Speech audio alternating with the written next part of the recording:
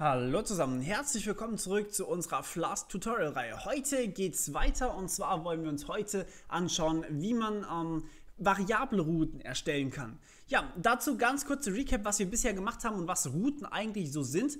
Also wir hatten hier zum einen mal natürlich die Route Hello.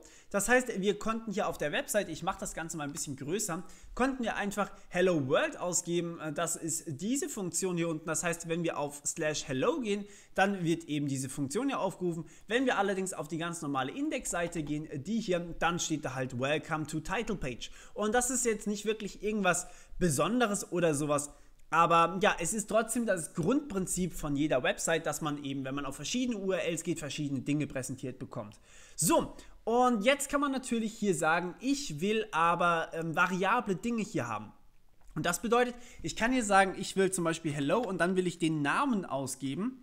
Und das mache ich mit dem indem ich einen Parameter hier einsetze. Das bedeutet, man kann jetzt nicht mehr auf slash hello gehen und hello world erwarten, sondern man muss seinen Namen dann auch noch eingeben, damit man auch richtig gegrüßt wird. Das ist ein Parameter. Hier steht nicht irgendwie Spitze Klammer, Name, Spitze Klammer zu, sondern ähm, da soll wirklich ein Name stehen und das ist nachher der Parameter, den wir natürlich dann auch in unserer Funktion hier bekommen. Das bedeutet, wir kriegen hier auch einen Parameter in der Funktion und können den dann eben hier verwenden. So, sieht ungefähr so aus dann das heißt, ich kann hier einfach ein Plus machen und kann hier den Namen ausgeben. Und ja, jetzt kann ich natürlich, übrigens das Ding updatet von selber, das heißt, ihr müsst nicht jedes Mal neu starten. Ähm, jetzt kann ich natürlich hier nicht mehr hergehen und zum Beispiel slash hello aufrufen, sondern äh, das ist dann natürlich not found, das dürfte ganz klar sein, sondern ähm, ich muss hier immer den Namen noch hinten dran angeben und da mache ich jetzt einfach mal world und plötzlich steht hier hello world, weil ich ein Leerzeichen natürlich vergessen habe. Okay, ähm, machen wir nochmal und jetzt steht hier plötzlich wieder Hello World, weil ich hier eben World angegeben habe. Aber ich kann hier auch einfach Hello und dann Welt angeben. Also da geht jetzt wirklich einfach genau so, wie ich das eben ganz gerne hätte. Und das ist ziemlich cool. Jetzt kann ich natürlich hier sagen, was ich ganz gerne hätte ähm, und kann damit auch vielleicht irgendwelche Berechnungen durchführen. So, Jetzt gibt es da allerdings natürlich einige Tricks, die man anwenden kann. Zum Beispiel, man erwartet hier auf jeden Fall einen Namen. Namen sind normalerweise immer Strings. Das bedeutet, ich kann hier angeben, was ich eigentlich für einen Datentyp haben will, damit ich zum Beispiel in meiner App damit umgehen kann, damit nicht irgendwie jemand was kaputt machen kann oder sowas, obwohl es eigentlich gar nicht kaputt gehen sollte. Und das kann ich hier vorne dran machen. Ich kann einfach sagen, mein Name ist ein String. Und das funktioniert wunderbar. Jetzt kann ich nämlich hier zum Beispiel das hier machen. Ich kann Hello und dann Welt angeben, aber ich kann zum Beispiel nicht einfach so 12 angeben und dann erwarten, dass eine Zahl ist. So wird nämlich dann einfach diese 12 wirklich als String interpretiert. Ihr wisst, das geht auch. Aber ja, ähm, am String-Beispiel sieht man das jetzt nicht unbedingt gut. Vielleicht am ehesten, wenn wir ein int verlangen. Und das ist eine Ganzzahl, wie ihr wahrscheinlich wisst. Jetzt kann ich hier hello und 12 aufrufen. Allerdings kann ich natürlich hier unten nicht mehr ähm, das Ganze als Zahl verwenden. Ich sage hier jetzt Name plus 2 und wandle das Ganze jetzt in String um. Ähm, ja, das Beispiel ist nicht gerade praxisrelevant, ist mir durchaus bewusst. Aber das hier ist trotzdem sehr, sehr interessant.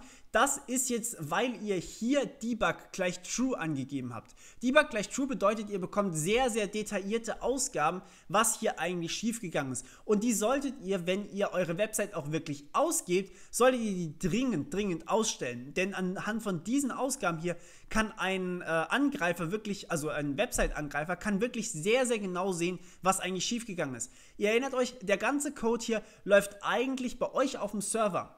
Das heißt, er sollte niemals nach draußen irgendwie dringen, falls ihr irgendwelche kryptografischen Berechnungen oder sowas habt und vielleicht euren Secret Key da drin verwendet, was natürlich vorkommen kann.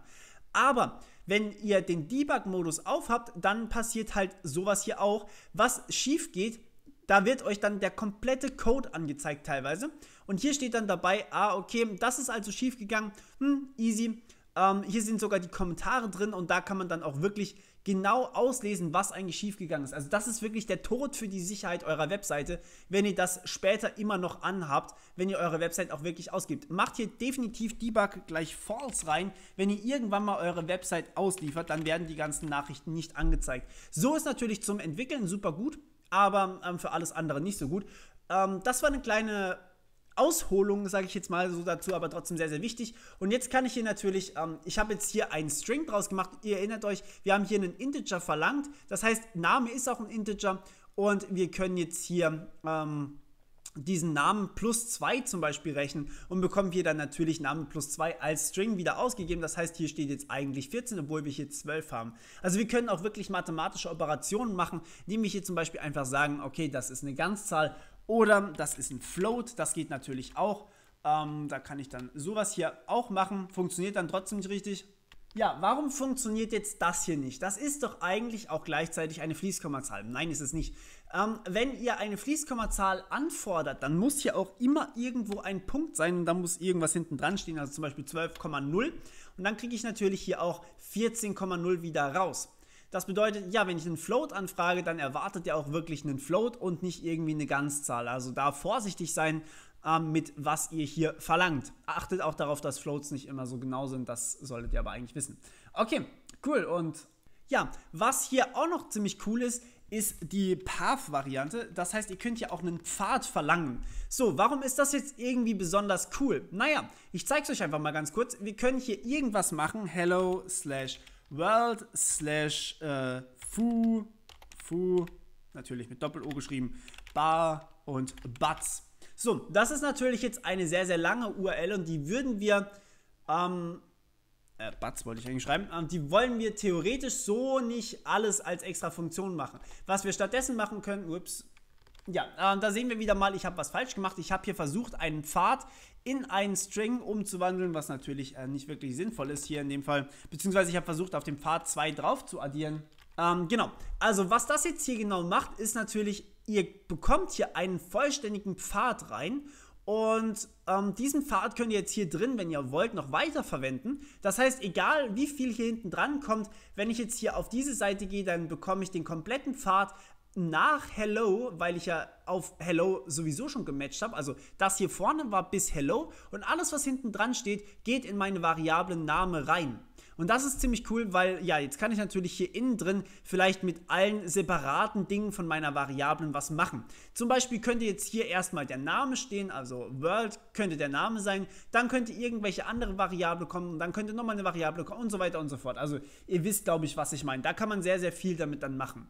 Okay, und ja, das war es erstmal zu variablen äh, Routen. Und ich hoffe, ihr könnt damit auch was anfangen. Einfach mal ein bisschen rumprobieren. Und ja, im Normalfall ist das natürlich auch die Grundlage für eure Applikation. Gut, das war's von meiner Seite. Wir hören uns. Bis dann. Ciao.